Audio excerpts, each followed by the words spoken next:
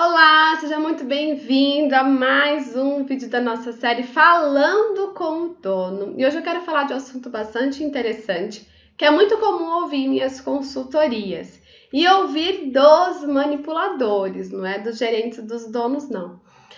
É muito comum que durante uma consultoria ou durante a inspeção do fiscal da vigilância sanitária no estabelecimento, é, sejam então é, solicitadas algumas adequações relacionadas à estrutura, mas também relacionadas a hábitos diários dos manipuladores, em relação à maneira como eles executam as suas tarefas.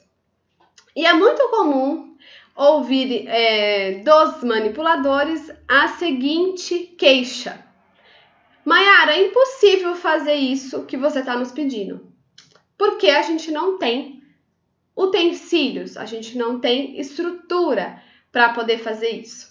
O que eu quero te falar hoje é ofereça para o seu manipulador condições de realizar o trabalho dele corretamente. Vamos falar mais sobre isso depois da vinheta. Vem comigo.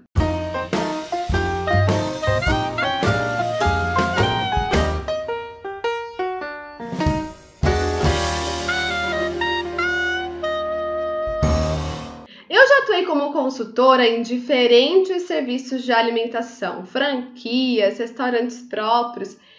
E é muito comum quando o dono do estabelecimento me contrata que ele deseja fazer algumas mudanças, deseja fazer algumas melhorias. Afinal, está contratando um consultor porque se quer melhorar um processo, melhorar um produto, melhorar uma estrutura, enfim. E muitas das vezes as queixas são relacionadas aos manipuladores, aos seus comportamentos e à maneira como eles trabalham. E nós, como consultores, ouvimos né, os nossos clientes e vamos então entender na prática como aquilo funciona para poder traçar uma estratégia que realmente atenda essa necessidade do cliente. E é muito comum perceber que muitas vezes o manipulador ele não faz algo da maneira que deve ser feita porque ele não tem condições para fazer. E não é condições físicas ou porque ele não, não quer fazer, mas a estrutura do estabelecimento não permite que ele faça aquilo. Por exemplo, eu fui num estabelecimento onde a vigilância sanitária exigiu que o manipulador fizesse a higienização correta das mãos entre as suas operações. Mas o que a gente percebeu é que o manipulador não poderia fazer aquilo, mesmo que ele quisesse, porque no estabelecimento não tinha um suporte de papel toalha, não tinha um suporte para colocar o sabonete líquido. Então, assim, mesmo que ele quisesse higienizar as mãos corretamente, e até tinha uma pia para ele fazer isso, ele não tinha materiais para fazer isso. E quem deve proporcionar isso para o manipulador é o proprietário do estabelecimento. Outra queixa muito comum é em relação às trocas diárias de uniformes.